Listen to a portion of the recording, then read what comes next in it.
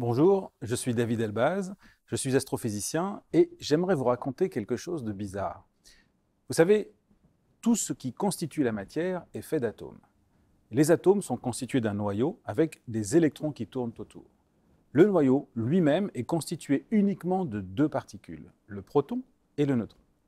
L'hydrogène, un proton. Le deutérium, un proton, un neutron. L'hélium, quatre particules. Donc on va dire particules pour protons et neutrons.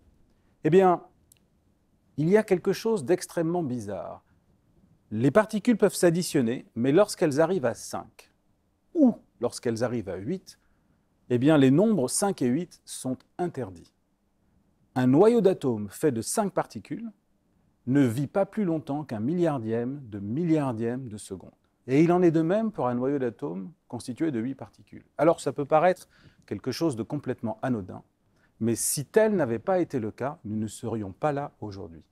Au tout début de l'histoire de l'univers, pendant les 15 premières minutes de l'univers, les particules se sont collées les unes aux autres pour former des noyaux d'atomes.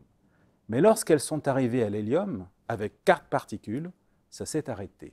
On n'a pas eu le numéro 5 qui est interdit. Si ça avait été le cas, si le 5 avait été autorisé, les additions auraient continué comme ça jusqu'au noyau d'atomes le plus solide que l'on connaisse dans l'univers, le fer.